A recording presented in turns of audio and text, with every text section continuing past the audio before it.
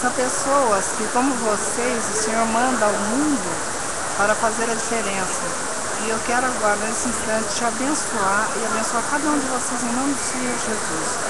Que vocês sejam benditos na terra, caminhando e ajudando, porque foi isso que Cristo fez por nós, quando morreu na cruz. Deus abençoe e guarde em nome do Senhor Jesus.